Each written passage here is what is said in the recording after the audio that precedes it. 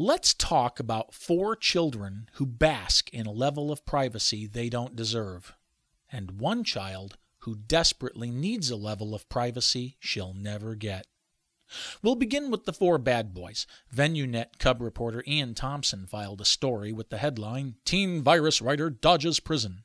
One 16 year old earned a suspended sentence in a British court for distributing the Randex worm.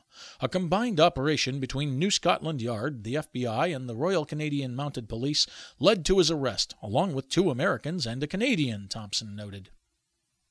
Nowhere in the story did Thomson identify any of these four boys. In fact, Thomson didn't even bother to explain why he protected their identities. A recent Google search reveals no names for those accused of distributing the Randex worm. None. Courtrooms and reporters alike do everything they can to shield a teenage hacker's identity. I said it before, and I'll say it again. Only in the computer security world can you keep your name out of the newspapers even after you plead guilty to a heinous crime. No paparazzi will stalk a teenage hacker for a photograph. You won't see his name splashed on the pages of Time or Newsweek or The Inquirer. You most certainly won't learn his identity from vnunet or the Register.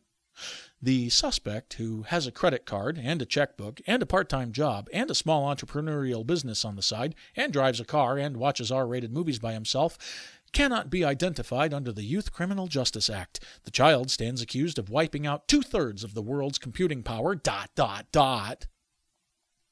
As bizarre as it sounds, if a teenage hacker's parents commit a crime, their names will likewise stay out of the newspapers too. Why? because it would reveal vital details about the identity of the teenage hacker. Oh, we saw a prime example of this in 2000 when one hacker's father was arrested. The unidentified teen stood accused of a $1.7 billion crime, while the unidentified father stood accused of conspiracy to commit assault. Now, I dared to name both the boy and his dad in a column appropriately titled, This Column is Banned in Canada, page 2.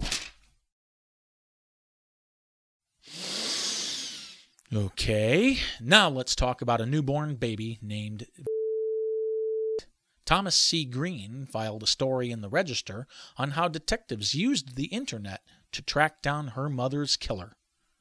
Why did Green identify the newborn by name in his story? Well, uh, you see, the killer carved out of her mother's womb, and she somehow survived the impromptu cesarean. And, well, you know, obviously, then that's why the press needs to identify her by name. Desperately needs her privacy. She'll never get it, though, because she's the victim of a crime, not the perpetrator. You know the paparazzi will do everything they can to snap photos of this newborn child. Her name will splash the pages of Time and Newsweek and, of course, The Inquirer. Media Inc. will forever tattoo this poor little girl. We can only hope she someday overcomes her privacy stigma like Kim Phuc did. She was the naked little Vietnamese girl burned by napalm in that Pulitzer winning photograph, if you don't remember her.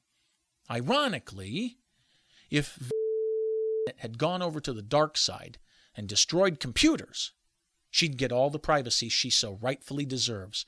A privacy four boys clearly don't deserve. Enjoy the media's double standard, folks. As for me, I need to take a shower, or at least wash my hands. Know what I mean? I'm Rob Rosenberger for Vmyths.